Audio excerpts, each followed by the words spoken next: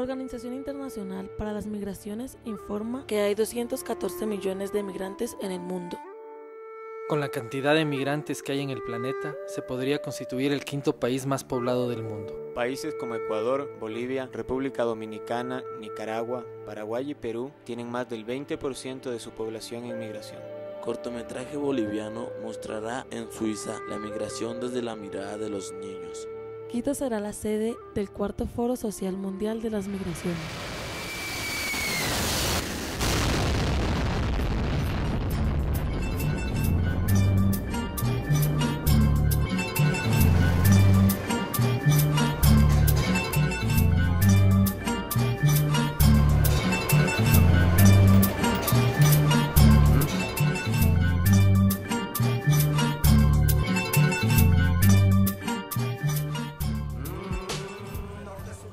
Movilidad humana sería, en una palabra, sacrificio.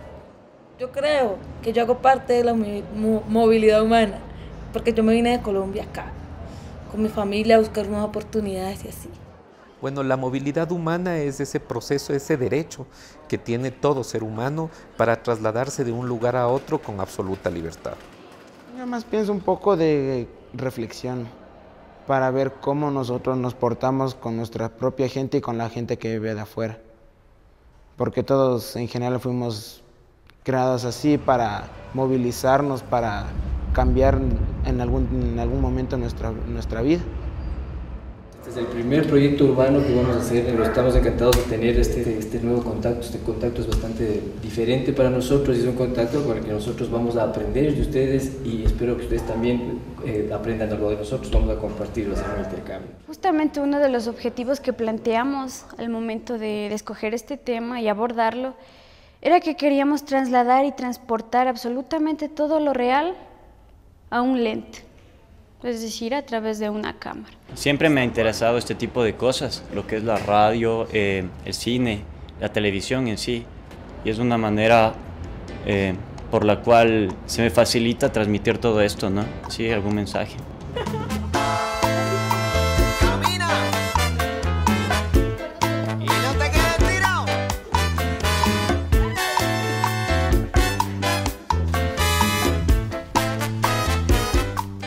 Mejor ven con tu familia y diviértete con momentos de sano esparcimiento, sol, arena y relax. Multivacaciones de cámara. Creo que el cine, más que nada cuando uno ve una película, o sea, puede conectar esa película con nuestra vida real, o sea, y, ver que, en qué es similar con, con lo que nosotros vivimos. creo que al menos hacer estos cortometrajes, o sea, hace que, que nosotros como jóvenes podamos expresarnos y decir lo que en realidad nosotros pensamos, porque los jóvenes, o sea, ahorita no tenemos muchos espacios en donde decir lo que, lo que pensamos. En parte es la historia que le pasó a la mamá de una compañera mía, que ella llegando aquí le pasaron más o menos esas cosas.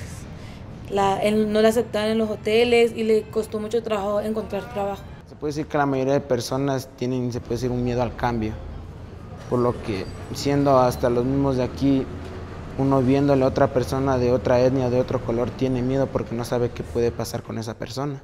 Nuestra historia al inicio, o sea, cuando escribimos el proyecto, pues el proyecto formal, era como que mostrar el lado, o sea, tétrico de la migración, que, o sea, que los, los padres se van y aquí los, los, jóvenes sufren una serie de problemas emocionales en la escuela y todo eso. Pero al final, después de ya realizar la escaleta, lo que llegamos a la conclusión es que o sea que a pesar de que la familia, o sea, la migración desune el núcleo familiar, termina generando otras nuevas formas de organización familiar. Puede ser que los abuelitos, con los tíos, o sea, ya o sea, se forman nuevas familias. Salí del Valle del Chota hace, hace 10 años. O sea, fue, fue una, una alegría inmensa llegar acá, conocer la ciudad. Entonces esa cuestión de ya ser migrantes internos eh, dentro de aquí del Ecuador, ya de una se relacionó lo que es movilidad humana con esta cuestión del circo de la calle.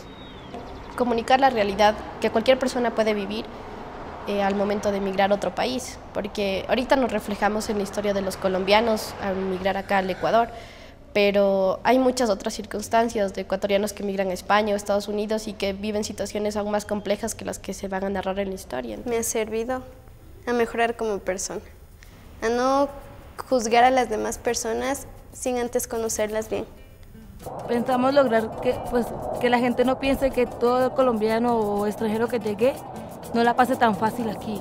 Que piensen, o sea, que también les toca duro vivir en otra parte fuera de su país. La realidad de la vida es tan rica que todo se da para hacer de todo.